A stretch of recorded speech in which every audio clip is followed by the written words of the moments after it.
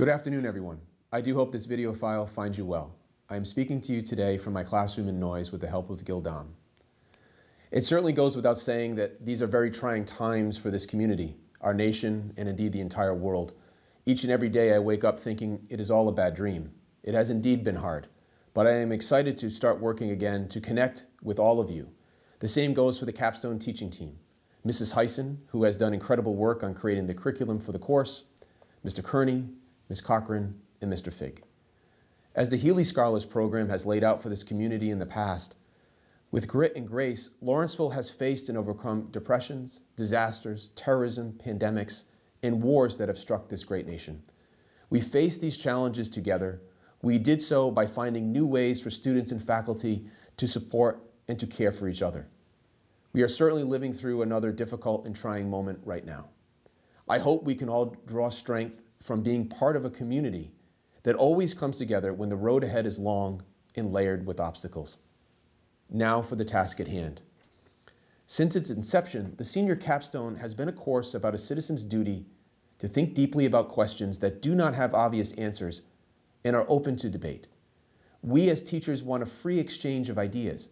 We will read widely what others think, including those who disagree with us. To borrow a phrase from Abraham Lincoln, the better angels of our nature needs to be on display.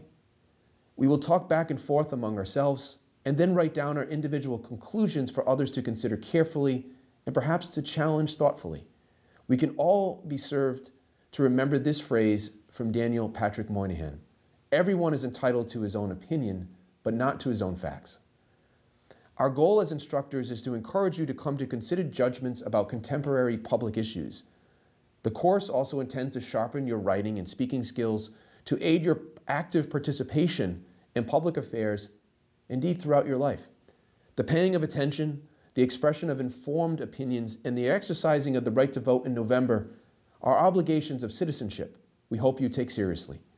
Capstone, then, is about what Lawrenceville itself is much about citizenship and public affairs. This term, we'll embark upon an examination of the 2020 election. If recent history has taught us anything about our politics, this will be a roller coaster of an election. We are indeed a divided country. As a nation, we are at odds over the meaning of our past and who is and who is not an American. Right now, we are engaged across the country with an effort to balance community and individualism, wealth and health, and state versus federal authority. We also have unprecedented questions right now about individual privacy. In order to combat this outbreak, our movements need to be known, our information disclosed. These issues, among others, will inform public discourse from now until November. Americans are looking for leadership at all levels of government, from county clerks, mayors of small municipalities, leaders of large cities, governors, members of Congress, and the President of the United States.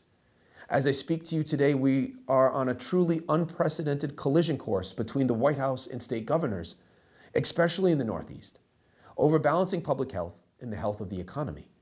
Indeed, it appears that in the weeks to come, the battle over COVID 19 will become hotly politicized. As we get ready to embark on our journey, we encourage you to think of what you have learned about the presidency last year in themes and honors U.S. history. Think back to Andrew Jackson's war against the banks, Lincoln, Lincoln's steady hand during the Civil War, Theodore Roosevelt's battle against the trusts, the Wilsonian rhetoric of peace and self determination during World War I, FDR's assurances to the American public in his fireside chats during the depths of the Great Depression, JFK's clarion calls for civil rights in the 1960s, Reagan's demand for a wall to come down in Eastern Europe at the end of the 1980s, and closer to our time, Barack Obama's use of hope as a driving ideology in his campaign and his ringing call for an end to a divided America. Perhaps no form of government, declared historian Arthur Schlesinger Jr., needs great leaders as much as democracy. For democracy is not self executing, it takes leadership to bring democracy to life. Great democratic leaders are visionaries. In reflecting on the presidency, LBJ remarked that the burden of his responsibility literally opened up his soul. No longer could he accept matters as given, no longer could he write off hopes and needs as impossible. Certainly, words for us to reflect on as we contemplate our choice in 2020. So, how will we start off this online course for you this term? This week, you will watch and engage with a lecture by Syracuse University professor Kristi Andersen, Professor Andersen will bring you up to speed on where we are to date in the election process and offer food for thought on where we are going. You will engage with Professor Andersen's lecture, as you will throughout the term, on the Haiku Discussion Forum Board. We ask you to take this work seriously. Consider carefully before posting, and remember that you cannot delete a haiku post once uploaded. We would like you to comment thoughtfully and respectfully on a post made by a peer. This too will be a norm for the term. After the Andersen lecture, we will move to a unit covering the Obama years and the beginnings of the age of Trump, using a series produced by PBS called America's Great Divide. Indeed, the rise of Donald Trump and the resilience of his public support has produced a singular American moment that we all need to grapple with. Next, we will turn to two lectures covering the state of American democracy. You will hear from Princeton University historian Julian Zelizer and Providence College political scientist William Hudson. After that, you will write a two to three page paper based on a prompt crafted by the teaching team. You will be required to engage with course units, so please take careful notes as you go through.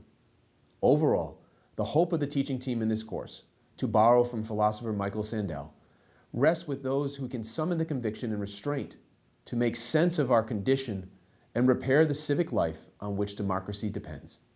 I look forward to our journey together over the next several months. Be safe and be well.